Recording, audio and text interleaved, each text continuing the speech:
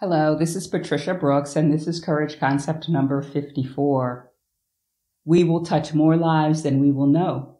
So shine, baby, shine. Recently, I started playing my flute again after many, many years of not playing. And I tried to play a piece of music that I had nearly mastered when I was in high school. And it was written by a composer named George Philip Telemann who was born in 1681 and died in 1767. And when I looked at that, those dates on that sheet of music, I said to myself, wow, here it is. He was, he died 200 years before I was born, yet he is impacting my life. How amazing. And it made me think that, wow, we are just like George Philip Telemann. We might not be composers or authors, but the things that we do in this world matter because people are watching all of the time. People are being influenced by how we show up all of the time. So it's important to shine, baby, shine.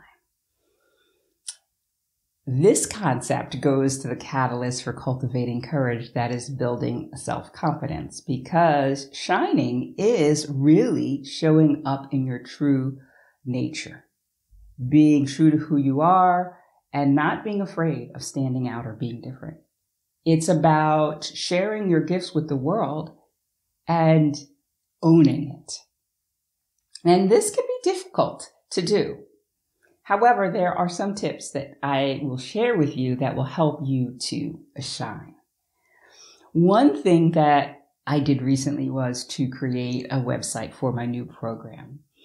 And I reached out some, to some former clients to get some testimonials to put on that page. And they responded. And when I read their feedback, I was pleasantly surprised. It was so sincere but not only that, the, the content was made me realize that the work that I do is impactful. It changes people's lives. And as a life coach, I should know that. And I do know that. But it's not often that I'm reminded of how the work I do impacts people.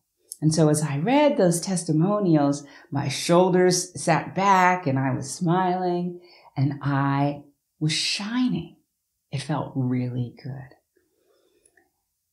So this leads into some things that you can do in order for you to build your self-confidence so that you can shine, so that you can show up in a way that positively influences others and shows others that it's okay to shine as well the first thing that you can do is think back to a time when you accomplished something that you didn't think that you could.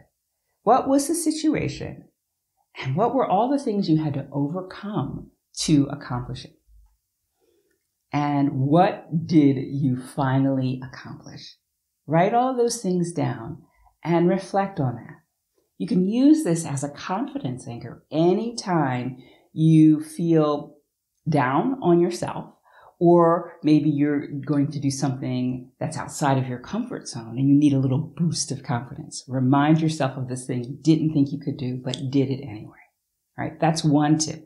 The second tip I have for you is much like I did with my past clients and asking for testimonials, you could ask a couple of friends to share the qualities uh, that you have that they see in you um, ask for three qualities, and then reflect on those. And chances are they're going to be positive qualities. And these will be things that you can use as anchors as well. Anytime that you feel less than confident, anytime that you want to share something with the world that might make you stand out a little bit, you can come back to this idea. We will touch more lives than we will know. So shine, baby, shine. That's all I have for you today. I will see you again next time. Bye.